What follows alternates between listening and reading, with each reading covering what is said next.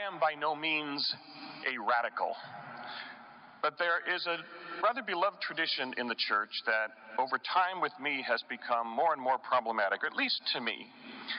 And that is the beloved tradition of referring to Thomas the Apostle as Doubting Thomas or Thomas the Doubter.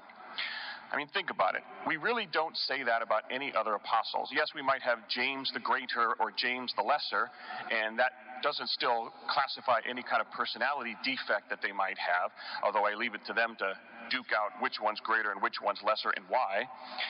We certainly don't refer to Simon Peter as Simon the Denier or denying Peter. Even Judas Iscariot is known as Judas Iscariot, not necessarily betraying Judas Iscariot. But Thomas has always been known as Doubting Thomas. And I wonder if, yes, over these last 2,000 years of this beloved tradition, he has not been given a bad rap. A part of me wants to say, let's give the man a break. He's not featured very much in the scriptures. He's prominent in the Gospel of John, in this story, but also in another place in which he doesn't express doubt, but he asks a question. He asks the question, Lord, we don't know where you are going. How can we know the way? Without that question, we would not have had Jesus answer I am the way, the truth, and the life. Here in the Gospel, we read every year on the second Sunday of Easter, which we uh, refer to devotionally as Divine Mercy Sunday, we hear the reference of Thomas doubting the resurrection of Jesus. But in many ways, he was probably bringing up either himself or through the gospel, John the evangelist was bringing it up through this story, questions that no doubt were arising among the early Christian communities. How are we to know that Jesus is risen if we have not seen him? Well, in addition to putting our trust in the witness of those who did, which we have been doing for the last 2,000 years, Thomas does raise an important issue. And without him raising that question, we would not have had Jesus' answer, which in that answer is a beatitude, if you will. Blessed are those who have not seen, yet still believe. For me, it is one of the earliest passages of Scripture that I learned. I remember where I learned it in first grade with the religious sister who taught me in Catholic school. And I remember distinctly her stating, We are among the blessed because we have not seen the risen Jesus, and yet we believe. We believe what's been taught to us. And yet, in the spirit of Thomas, who I don't like to refer to as the doubter, but rather perhaps Thomas the theologian, who asks the questions to get the answers that lead to a deepening of faith, I often ask the question Are we really among those who can consider ourselves blessed? Have we not seen? And in seeing, do we recognize?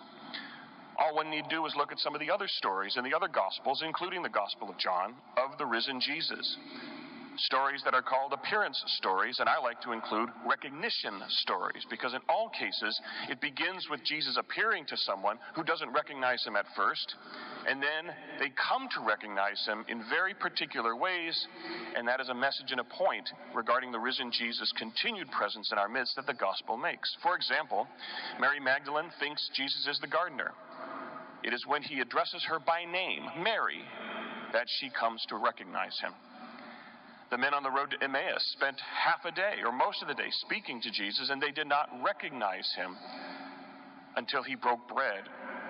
Then they came to understand that it was him speaking to them on the road when they said, Did his words not stir our hearts and set them afire? And when they returned and told the other apostles, the story ends in saying he came to be known to them in the breaking of the bread. So we recognize him in the word that is speaking, spoken to us that hopefully sets our hearts afire, but especially we recognize him and he is known to us in the breaking of the bread. In the great catch of fish, they don't recognize Jesus on the shore until the miracle of the great catch. And then the beloved disciple says, It is the Lord. And as we know from both stories, the one in Luke and the one in John, the catch of fish is metaphorical for the great catch of men that the church has in throwing out the net and bringing in followers for Jesus, bringing in that catch of fish so that they can be sheep for the shepherd. And so we have examples in which we see Jesus is recognized in the ongoing work of the church and its evangelization of the gospel. We see the risen Jesus in the breaking of the bread. And we know that however how much or how little we know Jesus, Jesus is one who knows us well and knows us by name.